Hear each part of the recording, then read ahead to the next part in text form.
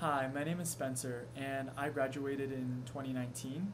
And this past summer, I interned at an e commerce company called Lucy Goods. And just through Polyconnect, I was able to reach out to a Poly alum named John Coogan who connected me to this internship. And I just really enjoyed working with John because I was just able to explore a lot of different aspects of the business. I spent time advancing my coding skills by working through Python programming projects, uh, had the opportunity to pitch to retailers in a sales capacity, and even negotiated with third party logistics companies to plan an international expansion. And overall, I would definitely recommend Polyconnect and reaching out to Poly alums whenever you're on the job hunt.